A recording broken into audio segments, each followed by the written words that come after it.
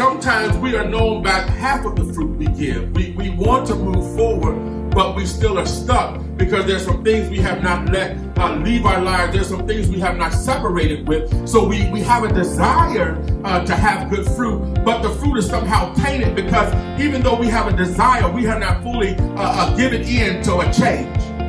We not, have not fully given in to being delivered or to being set free or to really working on what we produce or what we say.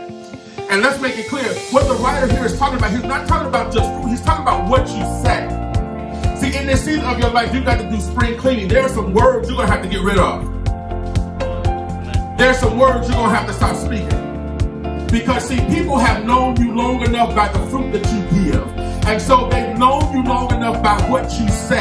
And so now you've got to ask God to help me so that I can do some spring cleaning so that I won't be known by being negative. I will be known by being a person of influence, a person that speaks the word of God, a person who has power and authority. That when somebody's sick, they, they will say, okay, I know who I can go to because I know that person knows how to pray or I know that person knows what to say.